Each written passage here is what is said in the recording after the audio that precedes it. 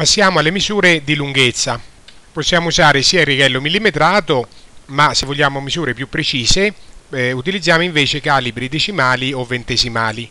Ricordiamo che il calibro decimale ha una sensibilità 10 volte migliore del righello millimetrato, perché la sensibilità è un decimo di millimetro.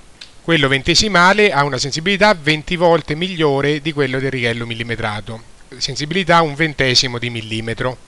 Qui per esempio abbiamo un parallelepipedo metallico, la sua altezza la misuriamo con il righello millimetrato e è di 6 cm, con incertezza di 1 mm.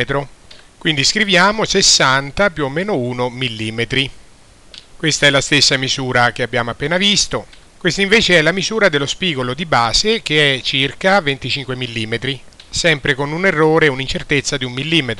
Attenzione che tutti questi parallelepipedi, cilindri, questi oggetti metallici solidi hanno anche un forellino che serve per farci passare questo spago per poi tenerli per esempio quando si immergono nell'acqua per misurarne il volume.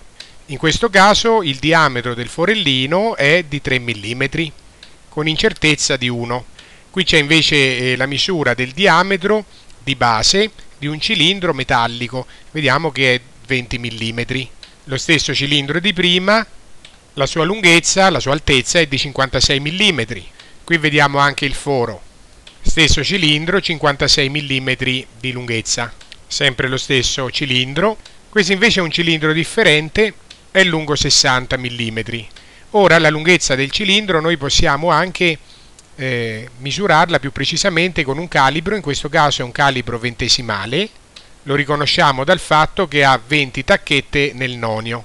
Qui per esempio la misura è 56 mm, poi sembra allinearsi questa tacchetta che è la 10, 20, 30, 40, quindi 56,40 mm.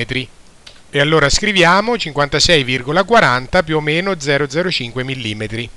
Anche il diametro del forellino può essere misurato con il calibro inserendo questa specie di pinzette che si allargano qui nel foro